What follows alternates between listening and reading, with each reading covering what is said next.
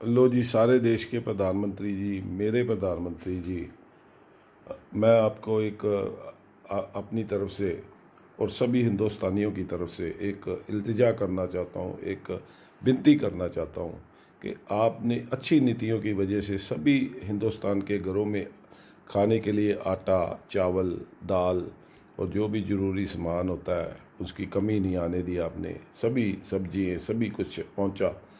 तकरीबन घरों में नीचे गरीब के घर में भी आपने, हर एक के अकाउंट में पैसे भी मैंने कईयों से पूछा, डाले आपने, तीन हज़ार, दो हज़ार, पाँच हज़ार, कईयों के अकाउंट में पैसे आए। और जो बे, देखिए प्रधानमंत्री जी, मैं आपसे गुजारिश करना चाहता हूँ, और मैं सभी उन लोगों को भी कहता हूँ कि जो प्रधानमंत्री जी को दिल से मानते हैं, कृपया उन तक ये बात ज़रूर पहुँचाइएगा।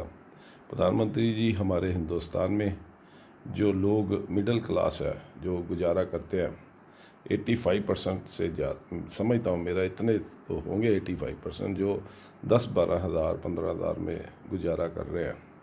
कृपया उनके घर में खाना भी है आपकी वजह से।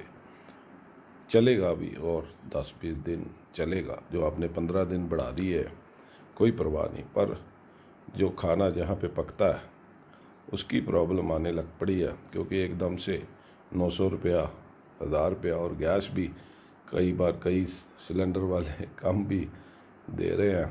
तो कृपया करके उनसे ये नौ सौ रुपया बहुत मुश्किल हो गया निकालना।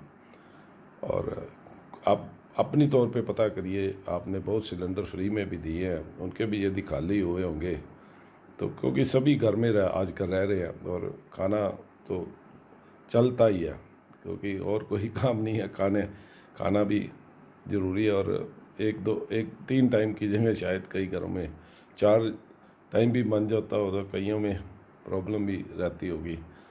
तो मैं सभी की तरफ़ से आपको चाहता हूँ, आप जब प्रधानमंत्री बने थे तो आप उस वक्त जो सिलेंडर का भाव था, आपने बोला था, नहीं, मैं इसको कम करूँगा। तो कृपया सिलेंडर के बारे में सोचिए। कम से कम इसको ढाई सौ, तीन सौ तक लेकर आइए। जितनी देर कोरोना है, उतनी देर उसके बाद चाहे बढ़ा लीजिएगा। अभी लोगों के बस की बात नहीं रहे, है ये, नौ सौ हज़ार रुपया देना। आगे परेशानी ना बढ़ जाए सभी की। तो नौ सौ हज़ार रुपये में बहुत मुश्किल है। कईयों को मैंने देखा है, को पैसे वो मांगते हुए भी हमारे घर में सिलेंडर ख़त्म है। तो आपके हाथ में देश है। आप ही देश के लिए सब कुछ हो, सभी लोग आपकी तरफ़ ही देखते हैं। कृपया सिलेंडर के बारे में, हो सके तो मिडिल क्लास के लिए इसमें कुछ छोड़ दीजिए, नहीं तो दो ढाई सौ से ज़्यादा इसका रेट मैं नहीं समझता, होना चाहिए, चाहे सरकारों को थोड़ा सा इसमें डालना पड़े पैसा। तो कृपया डालिए। और मेरी जो बात है, जो मोदी जी को मानते हैं, मैं भी मानता हूँ, आप भी मानते हो यदि ये सही समझते हो भी ये बात सही है तो कृपया पहुँचाइए अपने लिए भी, अपने आस पड़ोस के लिए भी और सारे देश के लिए। Thank you